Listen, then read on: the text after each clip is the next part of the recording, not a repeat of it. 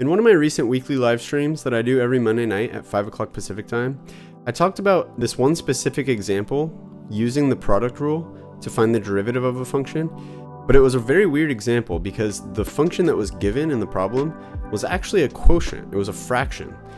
So you'd probably look at that and you think, why are you trying to apply product rule when you should be using quotient rule? Well, what I want to show you in this example, and which I'm going to go into greater detail in this video, is how you can kind of manipulate functions into a way that you can apply product rule even if it doesn't look like it. And you might think that sounds kind of silly, but the thing is, and this is a pretty common idea in calculus or really in any math, if there's a way of doing something that you feel more comfortable with, why not form the problem to fit the way of doing it that makes more sense to you? Now, don't get me wrong, if you struggle with quotient rule, for example, you definitely should spend more time practicing and learning the quotient rule.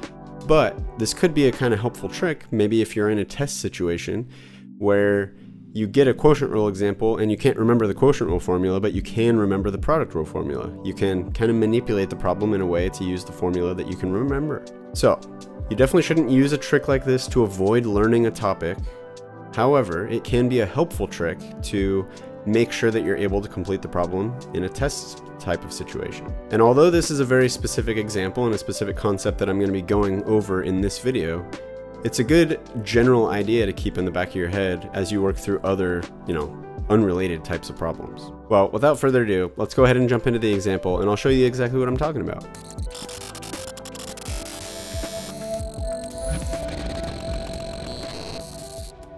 We are going to differentiate g of t equals t minus the square root of t all over t to the one third. So here's the thing. You're probably looking at this and thinking, product rule does not apply there. What the heck are you talking about? There's no product. And you're right. But there is a trick we can apply here in order to use the product rule. And I know that seems weird. I mean, looking at this, clearly there's division, right? We have this fraction where we have this top function and bottom function quotient rule probably makes more sense here, right? Well, you definitely could use quotient rule. You would definitely be right about that. However, there's a way we can use product rule instead. Now, like I said, quotient rule would definitely work. If you're comfortable with quotient rule and you want to use it, do it. But we can also use this exact same example to get practice with product rule instead. And what you would find is you would actually end up getting the exact same thing. However, there is an important step we need to take before applying product rule because we don't have a product as it is right now. We have to do some rearranging, right? Because like I've been saying, in order to apply product rule, you need to have one function times another function. Well, we don't have that. But let's think about how we could rewrite this fraction to instead of having division, have multiplication. Well, that's going to come into play based on our denominator right here. So what we want to think about is how could we rewrite this fraction so that there is no division and instead multiplication? Well, in general, if you ever have a fraction like this, if you ever have your denominator like this, you can move something out of a denominator up into the numerator of a fraction by making the power negative. If the power already is negative, you just make it negative, which turns it into a positive, right? So instead of writing this as t minus the square root of t divided by t to the one third, we can rewrite this as t to the negative one third times t minus the square root of t. Okay, and make sure you put the t minus root t in parentheses because this need, would need to be distributed in and multiplied by both of these terms. Just like up here, it's dividing both of those terms by t to the one third. So these two things are actually equivalent. This g of t is exactly the same as this g of t. There's no difference. And now notice when we look at this, we do have a product. We have this term being multiplied by this thing here. So what we can do is we can say f equals t to the negative one third. And I'm going to use, I know the, the product rule formula that you typically see has f and g, but since this function is called g, I don't want there to be any confusion about uh, this G being this different from that G. So I'm going to say we're going to use F and H instead. So it's the exact same idea for using the product rule formula, except I've substituted G out for H. Same idea though. Okay. We're still going to go through the exact same steps. So this still is going to be applicable to any product rule problem. So what we're going to have is t to the negative one third as f, and then h is going to be all this stuff. So t minus the square root of t. Okay. Now, what we can do once we have decided what's f and what's h, we then need to find f prime and h prime. So the derivative of this, we can just use the power rule. Power rule says we bring our power down in front, keep our t, our base the same, and then subtract 1 from the power. Negative 1 third minus 1 is the same as negative 1 third minus 3 thirds. Negative 1 minus 3 is negative 4 all over 3. So this new power is going to be negative 4 thirds, not negative 4 fourths, my bad. Negative 4 thirds. And then over here, what we actually probably want to do before taking the derivative here is rewriting this square root as t to the 1 half. So anything to the 1 half power is exactly the same as taking the square root of it. 1 half power and square root mean the exact same thing. But this is going to be easier to take the derivative of than this.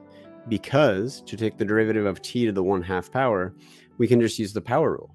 So the derivative of t minus t to the 1 half, the derivative of t is just 1, and then the derivative of t to the 1 half is just power rule. We bring our power down in front, bring the 1 half down in front, keep our base t as t, and then subtract 1 from the power. 1 half minus 1 is negative 1 half. Okay? Now, like we've been doing, once we have figured out our g, our or I'm sorry, our f, our h, our f prime, our h prime, we just multiply across, make an x. So we get t to the negative one third times this one, so 1 minus 1 half t to the negative 1 half. And then do this one times this one. So we get negative 1 third t to the negative 4 thirds times t minus t to the 1 half. So notice I did what I kind of mentioned in the prior example here. You want to put each of these things in parentheses so that when you multiply across, if there's any sort of distributing that needs to be done, you'll remember to do it thanks to the fact that there's parentheses. Okay. And then once you've multiplied across like this, all you do is add a plus sign in there. Okay. So this is g prime of t. Now what we can do from here is to go ahead and distribute and simplify. So we can distribute this into both of those terms there. Uh, distribute this into both of those terms there. So t to the negative one third times one is just t to the negative one third uh, minus one half times t. When you multiply two things with the same base, they both have t as the base in this case, you would add the powers. So negative one third minus one half is the same as negative uh, 2 sixths minus 3 sixths. Negative 2 minus 3 is negative 5 over 6. So the power is going to be negative 5 over 6.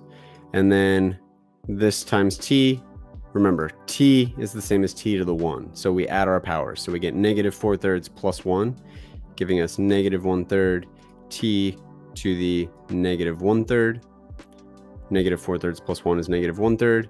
And then this times this term. So negative 1 third times our negative. So we're going to get plus 1 third t, t to the negative 4 thirds plus 1 half. Negative 4 thirds plus 1 half is the same as negative 4 not negative 4, sorry. We need to turn this into 6. So we're going to multiply this by 2 over 2. So it's the same as negative 8 over 6 plus 3 over 6. Negative 8 plus 3 is negative 5 over 6. Okay, so now we have a t to the negative 5 6 here and here. We also have a t to the negative 1 third here and here. So those are going to be able to combine. Combine our like terms at this point. So t to the negative one third minus one third t to the negative one third is two thirds t to the negative one third. We just are adding coefficients at this point. And then t to the negative five six, t to the negative five six. The coefficients are negative one half and positive one third. So negative one half plus one third is the same as negative three six plus two six is negative one six. So minus 1 6 t to the negative 5 6. So now this, this is going to be simplified as far as, as far as it's going to get, and that's going to be the derivative of this function up here. And like I said, if you were to apply the quotient rule instead of the product rule using the function in this form, you should end up with the exact same derivative as what we got here by doing product rule. Well, I hope you found this video helpful. If you could see yourself using this trick on a test, do me a favor, go ahead and hit that like button down below so we can spread this video out to more and more people and keep growing the Jake's Math Lessons community. It really would be a huge help to my channel so I can keep growing my channel and keep making more videos like this for you. And if you want to keep learning about product rule or other derivative methods, just go ahead and click on one of those videos over there and let's keep on learning. Thanks and see you next time.